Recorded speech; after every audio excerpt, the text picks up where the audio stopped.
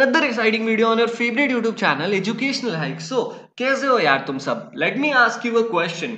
English और science की videos आपको कैसी लग रही हैं आपका एग्ज़ाम है आपका मिड टर्म एग्ज़ाम चल रहा होगा क्या वो वीडियोस आपको हेल्प कर रही हैं प्लीज़ कमेंट में बिलो और जिन लोगों ने उन वीडियोस को मिस कर दिया है प्लीज़ और प्लीज़ क्लास एट के साइंस की प्लेलिस्ट चेक करिए और क्लास एट की इंग्लिश की प्लेलिस्ट चेक करिए। आप प्लेलिस्ट नहीं चेक करते हैं कमेंट करते हैं कि, सर, मुझे ये वीडियो नहीं मिला, मुझे वो वीडियो नहीं मिला। I already told you a shortcut कि आपको करना क्या है। आपको बस चैनल का नेम स्लैश टॉपिक का नेम या चैप्टर का नेम यूट्यूब पर सर्च कर देना है। हमारी वीडियो आपको उस चैप्टर की सबसे टॉप पर मिल जाएगी। फॉर एग्जांपल आपको दिस इज़ जॉडीज फ़ोन देखना है। तो आप करोगे this is Jody's fawn slash educational hikes हमारी पार्ट वाइज जितनी भी वीडियो है, वो आपको मिल जाएगी। तो या आप वहाँ से देख सकते हो या आई बटन पे क्लिक कर सकते हो डिस्क्रिप्शन बॉक्स में चेक कर सकते हो। यार, इतने सारे लिंक्स हैं। जाओ, देखो, मौज करो। तो जैसा कि हम पार्ट वन और पार्ट टू दोनों में करते आए हैं, पहले हमने पार्ट वन पढ़ा, फिर उसके क्वेश्चन क्वेश्चन आंसर्स को हमने पार्ट टू के स्टार्टिंग में डिस्कस किया। फिर हम पार्ट थ्री पढ़ रहे हैं तो अब हम पार्ट टू के क्वेश्चन आंसर्स को स्टार्टिंग में डिस्कस करेंगे। ये दो क्वेश्चन इस पार्ट के। पार्ट टू अगर आपने देखा है तो आप इस क्वेश्चन को आसानी से कर लोगे। ना क्वेश्चन नंबर वन इज़ की Jody did not want Millwheel with him for two reason Jody Millwheel को दो कारणों से अपने साथ नहीं ले जाना चाहता था उस हिरन को ढूँढने के लिए। वो दो कारण कौन से हैं? तो सिंपली आपके यहाँ ऊपर आप अगर आओगे तो यहाँ पर एक सिंपल लैंग्वेज में कहा गया है कि पहला रीजन क्या है? पहला रीजन है कि if the fawn was dead Jody सोचता है कि अगर वो फ़ोन, वो हिरन का बच्चा जिसे ये ढूँढने जा रहा है, अगर वो मर गया होगा या इसे नहीं मिलता है he could not have his disappointment seen वो अपनी निराशा मिलविल को नहीं दिखाना चाहता था। पहला रीजन तो ये है। दूसरा रीजन है कि अगर फ़ोन मिल जाता है, ठीक है तो मीटिंग इस जॉडी की और फॉन की ये जो मिलन है, ये जो मिलने का समय है, ये इतना प्यारा होगा, इतना सिक्रेट होगा ना, कि जॉडी इंड्योर नहीं कर पाता, जॉडी हिम्मत नहीं कर पाता कि ये खुशी वो किसी और से भी शेयर कर सके, ठीक है? तो दो रीजन है, इसी दोनों को आप अपने आंसर में लिख सकते हो। ना क्वेश्चन नंबर टू हमारा क्या कह रहा है? कह रहा है कि why was Millwheel afraid to leave Jody alone Millwheel Jody को अकेले जंगल में क्यों नहीं जाने देना चाहता था? क्यों वो डर रहा था अकेले छोड़ने में? तो इसका आंसर या इसका रीजन तो यही होगा कि Millwheel was afraid to leave Jody alone because Millwheel thought that Jody might be lost और beaten by a rattlesnake जैसे उसके पापा को सांप ने काटा था तो उसको भी सांप काट लेगा। पहला डर तो ये था। दूसरा डर था कि कहीं वो जॉडी खो ना जाए, क्योंकि वो अभी बच्चा है। ठीक है तो हम इन सारी चीज़ों को पार्ट टू में पढ़ चुके हैं। आप देख लेना। नाउ पार्ट थर्ड स्टार्ट करते हैं। पार्ट थर्ड में क्या है? Movement directly in front of him startled him so that he tumbled backward अब हमने लास्ट पार्ट के एंडिंग में पढ़ा था पार्ट टू के एंडिंग में हमने पढ़ा था कि जॉडी अपने दोनों घुटनों पर और दोनों पैरों पर ज़मीन पर बैठा है और वो वहाँ के बालू को अपने हाथ में उठाकर या देखने की कोशिश कर रहा था कि क्या उस फ़ोन के पैरों के निशान भी है क्या, ताकि वो फ़ोन को ढूँढने जा सके। लेकिन होता क्या है? तुरंत जैसे वो झुकता है ना, उसके सामने एक मूवमेंट होती है, एक हलचल होती है, जिससे वो बिल्कुल स्टार्टल्ड रह जाता है, जिससे जॉडी एकदम चौक जाता है और इसी के लिए वो चौक कर पीछे की तरफ़ गिर जाता है, टम्बल्ड बैकवर्ड, ठीक है?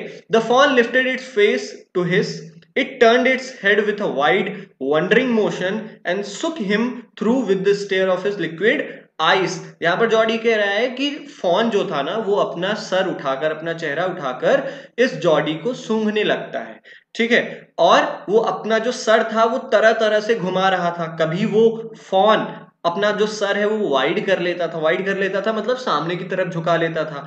कभी वो चारों तरफ़ अपना सर घुमाने लगता था। मतलब वो फाइनली ये देखने की कोशिश कर रहा था कि ये जॉडी कौन है, पहचानने की कोशिश कर रहा था। और वो अपनी लिक्विड आइस से, अपनी चमकदार और अपनी इतनी साफ़, इतनी ब्राइट आँखों से जब वो जॉडी को देखता है ना तो जॉडी क्या हो जाता है? सुख हो जाता है मतलब बिल्कुल हिल जाता है, चौक सा जाता है, ठीक है? तो यहाँ तक हमने पढ़ा कि जॉर्डी जब नीचे झुका हुआ था तो उसके सामने एक कोई हलचल होती है, जिससे वो चौक जाता है और पीछे की तरफ़ गिर जाता है। वो देखता है कि फ़ोन आ चुका है और फ़ोन अपना चेहरा उसकी तरफ़ ला रहा था, सूंघने की कोशिश कर रहा था ताकि वो पहचान सके। इसलिए वो अपना सर तरह तरह से घुमा रहा था, वो अपना सर आगे की तरफ़ पहले खींच रहा था, फिर वंडरिंग मोशन में मतलब चारों ओर ऐसे घुमा रहा था, ठीक है? और इस चीज़ ने ना जॉर्डी को एकदम अंदर से हिला के रख दिया। जॉर्डी इतना खुश हो गया ना कि पूछो मत। ठीक है इट वॉज़ क्यूवरिंग अब जो वो फ़ोन था ना, वो काँप रहा था। क्यूवरिंग का मतलब सेकिंग स्लाइटली ठीक है, थोड़ा सा काँप रहा था। It made no effort to rise और रन अब फ़ोन ना तो वहाँ से उठने की कोशिश कर रहा था, ना वहाँ से दौड़ने की, भागने की कोशिश कर रहा था, बस वहीं पर बैठा हुआ था शांति से। Jody could not trust himself to move Jody और फ़ोन दोनों सामने सामने बैठे हुए थे, लेकिन किसी की भी हिम्मत नहीं पड़ रही थी कि वो एक दूसरे के पास जा सके। वही यहाँ पर कहा गया है कि ना तो वो हिरन उठा और भागा, और ना ही ये जॉडी अपने आप पर भरोसा कर पाया कि ये थोड़ा सा आगे मूव कर जाए। ठीक है, इसे डर लग रहा था कि वो फ़ोन इसे मार ना दे, जो भी ना कर दे, क्योंकि फ़ोन तो पहचान नहीं रहा था इसे कि ये कौन है। चलो, अब आगे देखते हैं he whispered it's me Jody ना थोड़ा सा फुसफुसाते, एकदम हल्की आवाज़ में उस फ़ोन को सुनाने के लिए कहता है इट्स मी ये मैं हूँ। ठीक है the fawn lifted its nose वो जो फ़ोन है, वो जो हिरन का बच्चा है, वो अपने नाक को ऊपर करता है और सूंघने की कोशिश करता है जॉडी को। He reached out one hand अब जॉडी अपना एक हाथ बाहर निकालता है and laid it on the soft neck और उस हिरन के मुलायम गर्दन के ऊपर रख देता है। ऐसे हम गर्दन पे हाथ रखते हैं ना तो सेम जॉडी भी अपना हाथ उस फॉन उस हिरन के बच्चे के गर्दन पर रख देता है। The touch made him delirious अब जैसे ही फॉन को कोई टच करता है ना, ये छुअन पूरी तरीके से फ़ोन को डेलीरियस कर देती है एक्साइटेड कर देती है। फ़ोन एकदम जैसे लगता है ना, छटपटाने लगता है। He moved forward on all fours और जैसे ही जॉडी ने देखा कि फ़ोन कंफर्टेबल नहीं है, फ़ोन अब क्या कर रहा है? डिलीरियस हो चुका है एक्साइटेड हो चुका है तो वो अपने दोनों घुटने पर और दोनों पैरों पर चल के थोड़ा सा आगे आता है, घोड़े की तरह, ठीक है? He put his arms around its body उसने अपने दोनों हाथों को उस हिरन के गले पर रख दिया। A light convulsion passed over it उसने देखा, जॉडी ने जब अपना दोनों हाथ उसके गर्दन पर रखा तो उसने देखा कि उस हिरन के पूरे बॉडी पर ना एक कन्वर्जन हो रही है, एक कंपन सी हो रही है।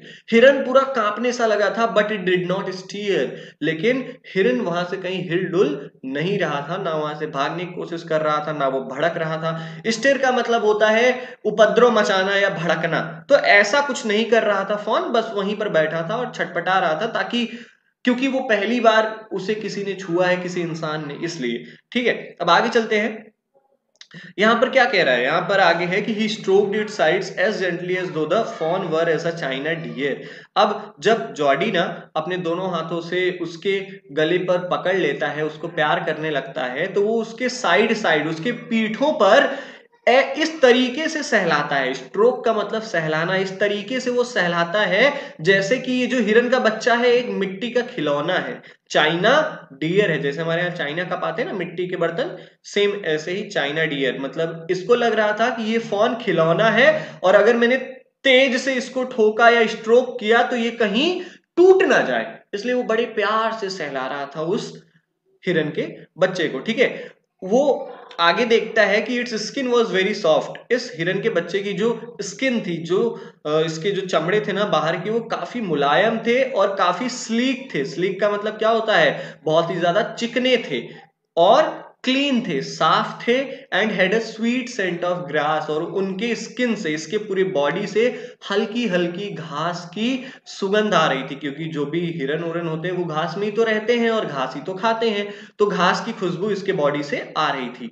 He rose slowly and he rose slowly and lifted the fawn from the ground. Its legs hung limply. Jody धीरे से उठता है और फॉन को ग्राउंड से अपने दोनों बाजुओं में, अपने दोनों हाथों में उठा लेता है ऊपर। इट्स लेग्स हंग लिम्पली अब इस फॉन का जो पैर है ना, वो बहुत ढीले ढाले तरीके से लिम्पली का मतलब क्या होता है? एकदम लूजली एकदम ढीले ढाले तरीके से नीचे लटक रहा था, जैसे इनमें कोई जान ही नहीं है। They were surprisingly long and he had to hoist the fawn यहाँ पर क्या कहा गया है? कहा गया है कि ये जो फॉन का पैर था वो इतना लंबा था कि जॉडी को इस फॉन को और ऊपर उठाना पड़ा, और ऊपर लिफ्ट करना पड़ा। ठीक है? हॉइस्ट का मतलब क्या होता है? उठाना। Pull up higher as high as possible under his arm वो अपने दोनों हाथों से उस हिरन को उतनी ऊपर उठा लेता है जितनी ऊपर वो उठा सकता था, ताकि उसके पैर ज़मीन पर ना टकराएँ। ठीक है? चलो, आगे देखते हैं। He was afraid that it might kick and bleat it sight and smell of his mother Jody ये डर रहा था कि कहीं अगर उसने, इस फॉन ने अपनी माँ की डेड बॉडी को देख लिया या उसे स्मेल कर लिया तो वो क्या करने लगेगा? वो किक करने लगेगा। वो जॉडी ने यहाँ पर उठाया हुआ है ना, और अगर इसने अपनी माँ की डेड बॉडी को देख लिया, जिस रास्ते से ये जा रहा है, उस रास्ते पर अभी उसकी माँ की डेड बॉडी पड़ी हुई है तो इसे डर था जॉडी को कि अगर कहीं इस फ़ोन ने देख लिया अपनी माँ को तो ये किक करने लगेगा, पैर मारने लगेगा और मिमियाने लगेगा। इसलिए जॉर्डी ने क्या किया? He skirted the clearing and pushed his way into the thicket वो उस जो क्लियरिंग था, जहाँ पर उस माँ की डेड बॉडी पड़ी हुई थी फॉन की माँ की डेड बॉडी जहाँ पड़ी हुई थी, उसके किनारे किनारे से वो निकलकर घनी झाड़ियों के बीच में से होते हुए वो निकल गया। वो उस जगह पर ना जाकर जो डेंस वेजिटेशन थी, जो डेंस स्क्रब्स थे, यहाँ पर थिकेट का मतलब क्या है? थिकेट का मतलब जो घनी झाड़ियाँ थी, उनके बीच में से होते हुए जॉडी बाहर निकल आया। It was difficult to fight through with his burden अब जॉडी को बड़ी मुश्किल हो रही थी। जॉडी ने अपने हाथ में उस फ़ोन को भी उठाया हुआ था और उसे कांटों के बीच में से, झाड़ियों के बीच में से चलना था तो बड़ी मुश्किल हो रही थी उसे। The fawn's legs caught in the bushes and he could not lift his own with freedom बार बार जैसे ही थोड़ा वो आगे बढ़ता था तो जो उस फ़ोन का पैर था, वो झाड़ियों में फंस जाता था। ठीक है? और यहाँ तक कि ये जो जॉडी था ना, वो भी अपने पैर, अपने लेग्स को आज़ादी से नहीं उठा पा रहा था। उसके पैर भी ज़मीन पर फंस जा रहे थे। इतनी ज़्यादा पेड़, पौधे, लताएँ उस ज़मीन पर थी, ठीक है? He tried to shield its face from prickling vines अब इस जॉडी ने ना इस फ़ोन के चेहरे को बचाने की कोशिश की सिल्ड करने की कोशिश की। किस चीज़ से बचाने की कोशिश की? वाइन्स के जो प्रिकल्स थे, वाइन्स का मतलब क्या होता है? हमारे गाँव में बेल के पेड़ होते हैं, बेल गोला गोला सा फल होता है, ठीक है? तो उसमें कांटे होते हैं तो उसके कांटों से बीच में बेल के पेड़ के कांटे आ जा रहे थे तो उसको हटा रहा था और फ़ोन के फेस को बचाने की कोशिश कर रहा था, कहीं फ़ोन को लग ना जाए, ठीक है? आगे क्या होता है? Its head bobbed with his stride और जैसे जैसे जॉडी अपने कदम आगे बढ़ाता है ना तो उसके कदमों की वजह से ना, इस इस फ़ोन का जो सर था, वो बॉब कर रहा था। बॉब कर रहा था मतलब पहले ऊपर जा रहा था, फिर नीचे जा रहा था। अब आप जानते हो, आप जब चलोगे तो जैसे आप कोई भी चीज़ लेके चल रहे हो, फॉर एग्ज़ाम्पल आप भी कोई डॉग उठा लो हाथ में, ठीक है, और आप उसे लेके चल रहे हो तो आप देखोगे जो डॉग का हेड है, वो ऊपर नीचे ऊपर नीचे थोड़ा सा कर रहा है। उसी को कहते हैं बॉब्ड, ठीक है? तो जो फ़ोन का हेड था, वो ऊपर नीचे कर रहा था जैसे जैसे जॉडी आगे बढ़ रहा था। His heart thumped with the marvel of his acceptance of him और चूँकि जो फॉन था ना, वो जॉडी को एक्सेप्ट कर चुका था। और इस बात से, इस बात की मार्वलनेस से, इस बात की खुशी से ना जॉडी का जो दिल था, वो बहुत तेज़ी से थंप कर रहा था, धड़क रहा था। He reached the trail and walked as fast as he could अब एक पतले रास्ते पर एक ट्रेल पर जॉडी पहुँचता है। जंगल में एक पतला रास्ता था जो मेन सड़क तक जाती थी। ठीक है तो एक पतले रास्ते पर पहुँचता है जॉडी और इतनी तेज वो वहाँ से जाने की कोशिश करता है जितनी तेज वो चल सकता था।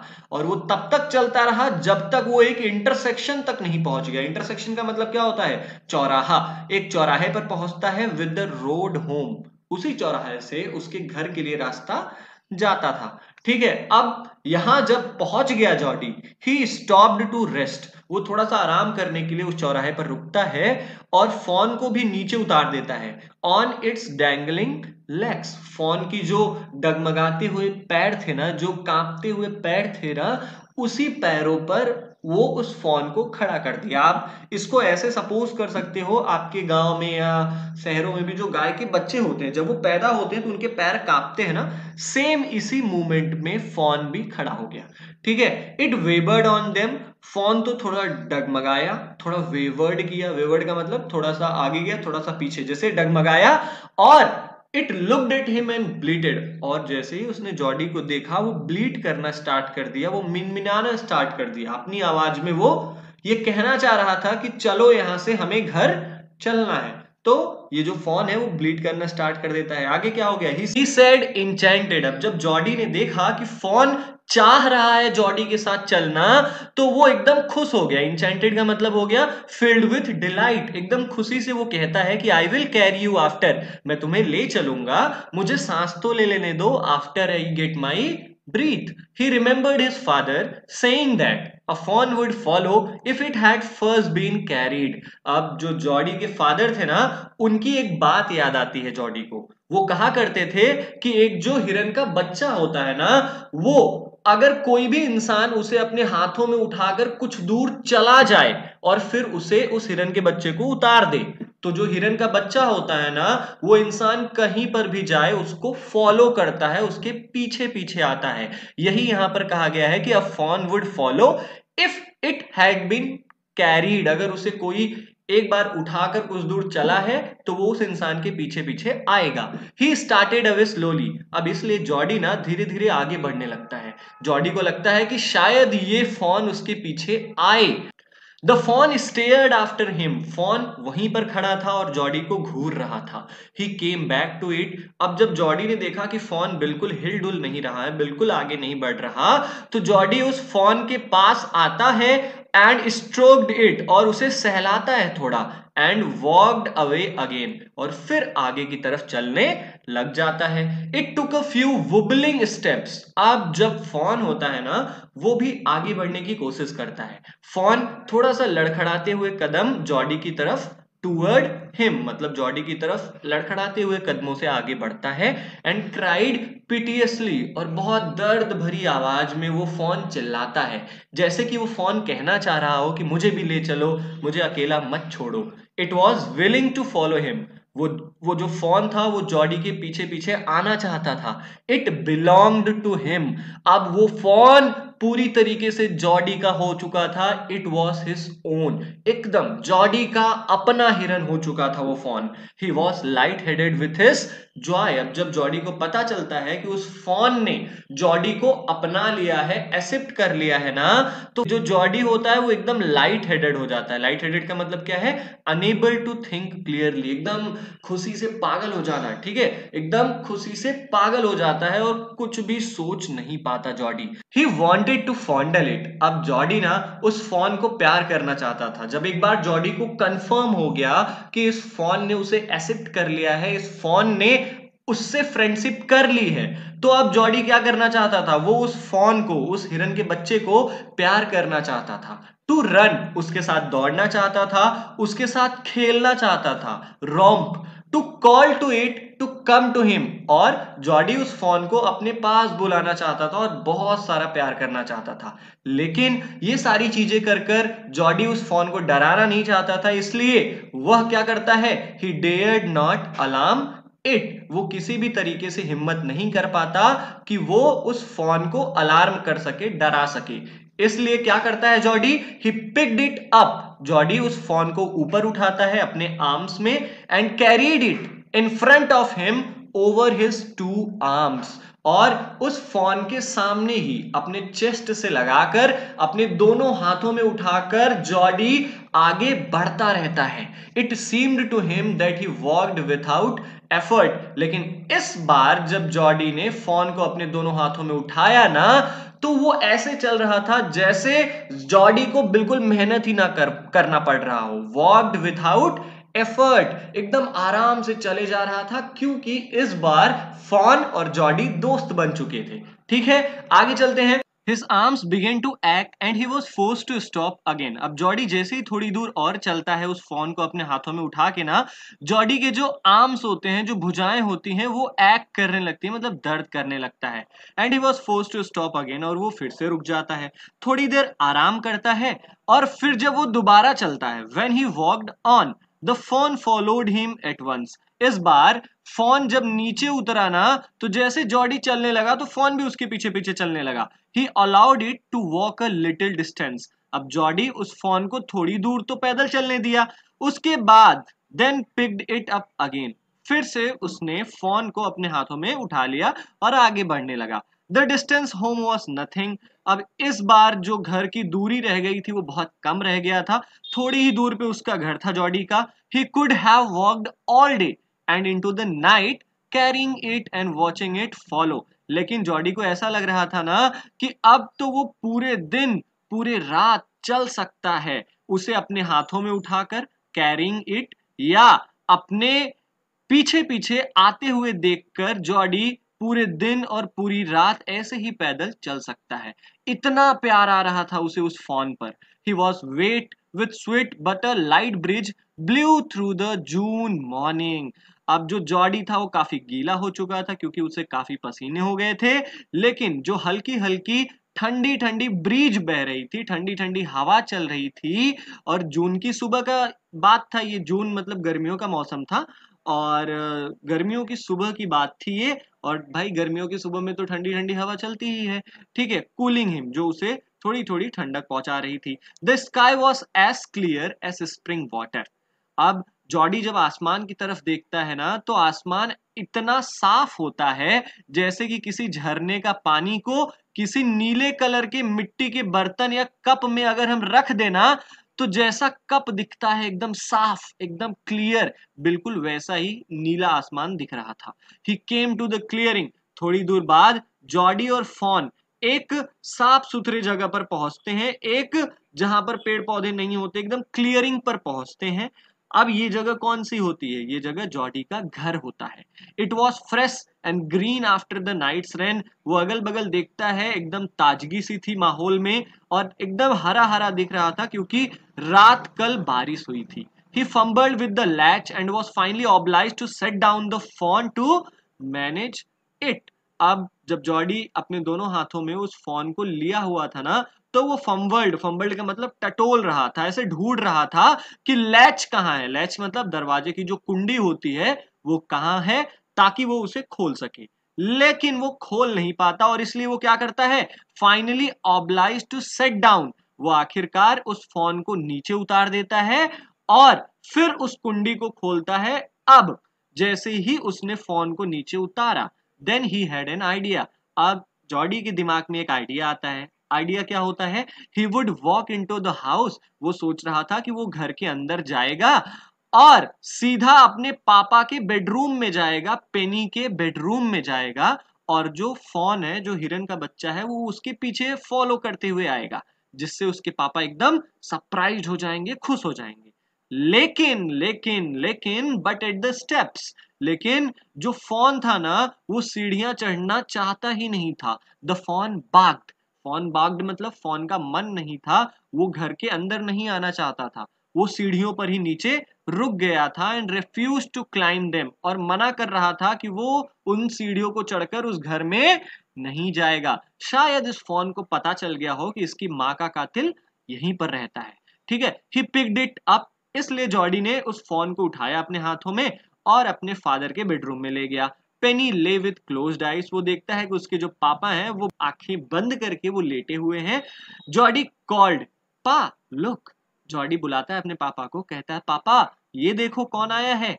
Penny turn his head. उसके पापा उसकी तरफ़ अपना सर घुमाते हैं। Jody stood beside him. वो देखते हैं कि जॉडी उनके बगल में खड़ा है। The fawn clutched hard against him और जो फ़ोन था जो हिरन का बच्चा था ना उसको उस जॉडी ने क्लस्ड हार्ड क्लस्ड हार्ड मतलब बहुत ही टाइटली पकड़ा हुआ है। बहुत ही फर्मली पकड़ा हुआ है। क्लस्ड हार्ड का मतलब बहुत ही कस के अपने बाहों में ऐसे आ, ऐसे कह सकते हो चिपकाया हुआ है या पकड़ा हुआ है। ठीक है? It seemed to Penny that the boy's eyes were as bright as the fawn's और जब पेनी ने, जब जॉडी के फादर ने जॉडी की आँखें देखी ना तो जॉडी इतना खुश था कि उसकी आँखें इतनी साफ़ लग रही थी, इतनी ब्राइट लग रही थी, जितनी कि उस फ़ोन की आँखें चमकदार थी। जितनी उस हिरन के बच्चे की आँखें चमकदार थी, उतनी ही चमक जॉडी की आँखों में भी थी, क्योंकि जॉडी ने उस फ़ोन को ढूंढ लिया था। He said I am glad you find him ठीक है? अब पेनी, जो जॉडी के फादर रहते हैं, कहते हैं, मुझे बहुत खुशी हुई बेटा कि तुमने इस हिरन के बच्चे को ढूंढ लिया। Jody then went to the kitchen अब उसके बाद जॉडी तुरंत किचन में जाता है। The fawn wobbled after him जो हिरन का बच्चा होता है, वो जॉडी के पीछे पीछे लड़खड़ाते हुए आता है, उसको फॉलो करता है। A pan of morning's milk stood in the kitchen जब जॉडी किचन में पहुँचता है तो वो देखता है कि एक पैन में जो सुबह का दूध है वो रखा गया है उस फॉन के लिए रिज़र्व करके, ठीक है? उसकी माँ ने रखा है। The cream had risen on it. लेकिन एक प्रॉब्लम आ गई थी कि उस दूध में ऊपर ना क्रीम आ गई थी, मलाई आ गई थी। होता है ना, जब दूध को गर्म करके थोड़े समय के लिए रख दिया जाए तो उस पर मलाई आ जाती है, जिसको हम हिंदी में क्या कहते हैं? साढ़ी, ठीक है? He skim the cream into a jug अब जॉडी क्या करता है? उसने सारी क्रीम को, सारी मलाई को एक जग में निकाल देता है स्किम कर देता है। He poured milk into small gourd उसके बाद क्या करता है? वो दूध को एक छोटे से लौकी के बर्तन में निकाल देता है। लौकी का बर्तन मतलब क्या होता है? गॉड का मतलब क्या होता है? जो हमारे यहाँ सब्ज़ियाँ आती है ना, लौकी एक लंबी सी होती है, उसी से एक कच्ची लौकी से, सूखी लौकी से एक बर्तन बनाया जाता है। कुछ इस तरीके से होता है, ठीक है? तो इसी बर्तन में जॉडी ने दूध को डाल दिया। He held it out to the fawn और फ़ोन के सामने वो अपना हाथ बढ़ाया। It butted it suddenly smelling the milk लेकिन जैसे ही फ़ोन उस दूध की खुशबू को सूंघता है स्मेल करता है ना, वो तुरंत उस बर्तन को, उस गॉड को धक्का मारता है जिसमें दूध रखा गया था। ठीक है, शायद उसे अपने माँ की याद आ गई हो। He saved it precariously from spilling over the floor Jody बहुत मुश्किलों से उस दूध को फैलने से स्पिलिंग ओवर का मतलब टू फ्लो ठीक है, फैलने से रोकता है ज़मीन पर, क्योंकि अब अगर वो जॉडी बचाया नहीं होता उस बर्तन को तो दूध नीचे गिर जाता और दूध पूरा फैल जाता।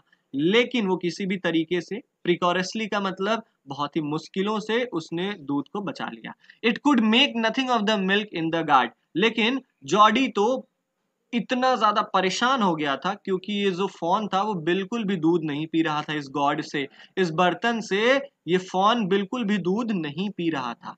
अब क्या करता है Jody? He dipped his fingers in the milk वो अपनी उंगलियों को दूध में डालता है, डुबोता है एंड थ्रस्ट देम और अंदर तक डुबो के क्या करता है?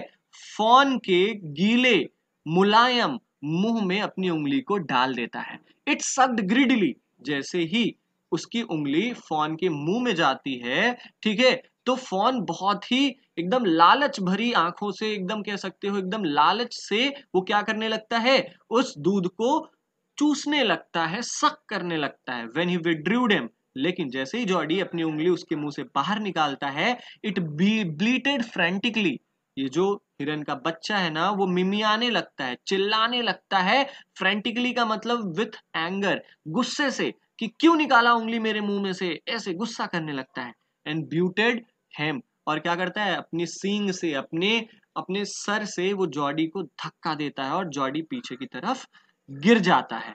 He dipped his fingers again अब जॉडी क्या करता है? अपनी उंगलियों को फिर दूध में डुबोता है and as the fawn sucked और तुरंत फ़ोन के मुँह में डाल देता है।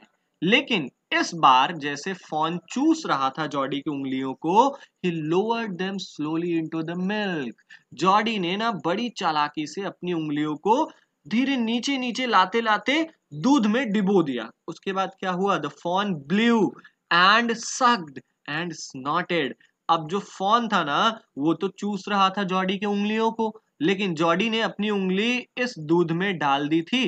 अब ये फ़ोन ना बहुत ही आसानी से क्या कर रहा था? ब्लू ब्लू का मतलब दूध को अंदर खींच रहा था सक कर रहा था, चूस रहा था एंड स्नॉटेड और गड़गड़ाहट की आवाज़ कर रहा था। It stamped it small hoofs impatiently as long as he held it fingers below the level of the milk the fawn was content अब जो फ़ोन था ना, वो इतना खुश हो गया था कि वो अपने हुप्स को, ये जो ब्लैक ब्लैक दिख रहे हैं ना, ये काले काले खुर तो ठीक है, अपने खुरों को, अपने पैरों को पटकने लगा था, बड़ी बेचैनी से, क्योंकि वो चाहता था कि वो सारा दूध जल्दी से पी जाए। As long as he held his fingers below the level of the milk the fawn was content और जब तक जॉडी ने अपनी उंगली उस, इस दूध में डुबोए रखा, तब तक फॉन बड़ा संतुष्ट था, बहुत ही आराम से दूध को पीता रहा। It closed its eyes dreamily ये फॉन ने अपनी आँखों को बंद कर लिया था, जैसे कि कोई सपना देख रहा हो वो।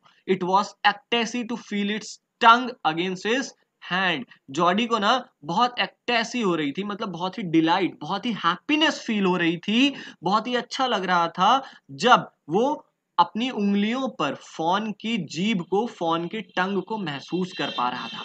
Its small tail flick back and forth इस फ़ोन का जो छोटी सी पूछ थी, वो आगे पीछे फ्लिक कर रही थी मूव कर रही थी। The last of the milk vanished in a swirl of foam and gurgling और जो थोड़ा सा दूध इस बर्तन में बचा हुआ था ना, वो भी धीरे धीरे वैनिस हो गया, गायब हो गया with a swirl of foam and gurgling जो बबल्स उठ रहे थे दूध के, उसकी आवाज़ से और जो स्विरल बन रहे थे, जो गड़गड़ाहट हो रही थी मतलब जिस तरीके से फ़ोन इस दूध को पी रहा था, एकदम जल्द ही, थोड़ी देर बाद ही दूध एकदम वैनिस हो गया, एकदम गायब हो गया और इस फ़ोन ने पूरे दूध को पी लिया, क्योंकि वो काफ़ी दिनों से क्या था भूखा था। तो कंप्रहेंशन चेक क्वेश्चंस तो मैंने ऑलरेडी डिस्कस ही कर दिए हैं। आपको वर्किंग विद टेक्स्ट में comprehension check questions plus working with text के क्वेश्चन वर्किंग विद लैंग्वेजेस के क्वेश्चन सबके क्वेश्चन आंसर्स आपको नेक्स्ट पार्ट में मिल जाएँगे। मिलते हैं अपने अगली वीडियो में। तब तक के लिए जय